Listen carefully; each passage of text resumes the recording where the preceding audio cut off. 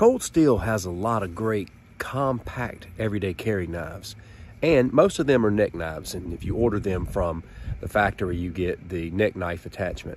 Well Cold Steel also has something called a C-clip and it makes it so much easier to carry these blades around especially if you don't like to do the neck knife thing. Stick around and we'll take a look at it.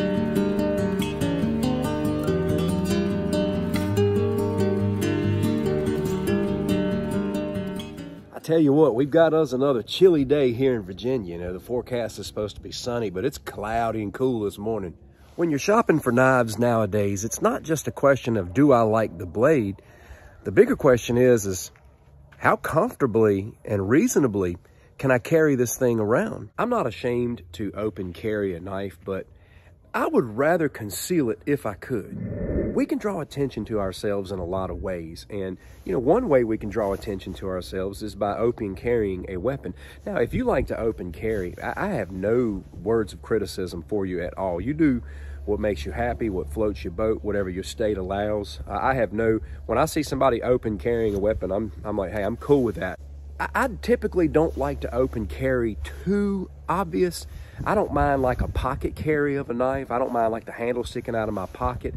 I don't mind a little bit of open carry, but I do like some discreet factors as well. I don't want it to just be blatant. My personality already draws enough attention to me as it is. The way I carry myself, my energy level, it just it just draws attention. And having a weapon on my side that's overly visible just kind of adds to it. And that's the reason why I don't do full-blown open carry of anything. I have actually tried neck knife carrying I gave it a shot for a season in my life, you know, carrying it outside of the shirt, carrying it under the shirt. It just wasn't for me. So that's why I was really happy to discover the C-clip from Cold Steel. Now in this video, I'm not gonna show you the assembly of putting the C-clip on the sheath. You don't wanna watch that video because it takes some scrutiny. It took me a long time to put these on. That video would be like watching paint dry um, just because I didn't quite have the tools that I needed to make it easy putting it on. But I will tell you about the hardware that you get and I will show you some of the different ways that it can be mounted. What you can do is go out to Amazon and order the C-Clip 2-pack. You'll get two of these. The hardware that you get is the clip like this. You get uh, basically a base screw. You get like the little attachments that go in between. Let me show you this here. You get the attachments that bridge between the sheath and the clip itself you get a washer that can go underneath the screw and you get your, I call it the screw in screw. Basically four elements or five elements. You get the, you get the clip, you get the base screw, a washer, this little bridge is what I call it, and the top screw.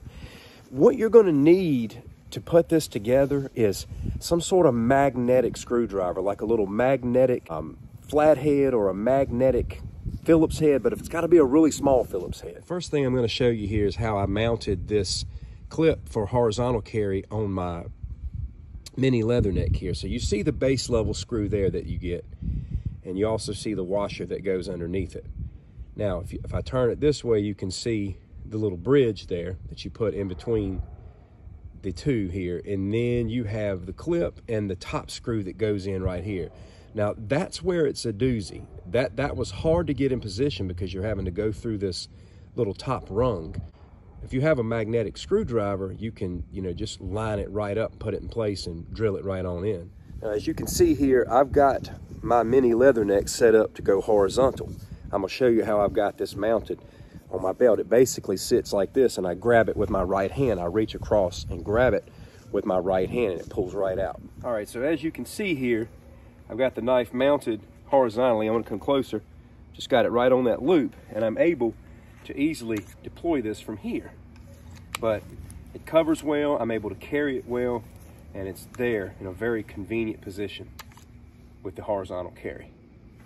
Now I wanna show you how I mounted the C-clip on my Tanto spike, which I like to call my mini Kobun. This, this Tanto spike here, just, it's like a little miniature Kobun. I love this knife. It's razor sharp. It's so easy and comfortable to carry around. I did a review just a few days ago on this, but I want to show you how I mounted the clip to this. So this is what this looks like. Okay, this makes also for a great pocket clip. Now, you can run a belt through this and carry it upright, you know, however position you want to carry it. Um, you could finagle if you wanted to. I don't know. I tried switching it this way and mounting it. I had a difficult time mounting it, turning it uh, clockwise here, long way for scout carry or, you know, horizontal carry. I found it a little bit difficult. I don't think I could get the, the rungs to line up. So what I did was decided to just mount it like this so that I can carry it in my pocket. And this is what it looks like in my pocket. So here's what this looks like in the pocket. I'm totally good with that. I would even open carry that way because that's very discreet. It's easy to reach in and pop this right out. What I love about this spike is it's so much blade and it's so comfortable to carry the way this slides down into the pocket. You can cover it up if you want to, or you can kind of ride out with it, kind of like this. I don't mind this kind of open carry. That's got a, a discreet factor to it. And I think that looks nice. It's easy to assess and I think it looks good. Now this pocket clip does have an element that can grab. But, you know, as I learned with the Kobun and with this as well, thumb deployment is best. It's just a matter of reaching down and deploying it that way. You can train with that and get really fast with it.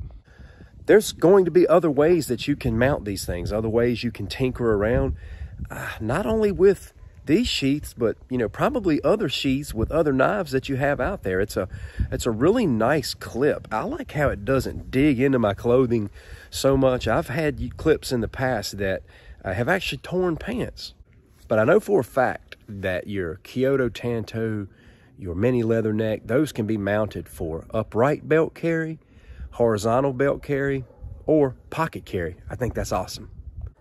And your Tanto spike can be set up for upright belt carry or pocket carry. What matters in the end is being able to travel safely and comfortably with our knives, but also have the ability to get to them quick and efficiently in a crisis. Thank you so much for taking time to watch this video. I appreciate all of my subscribers and supporters and all the new visitors as well.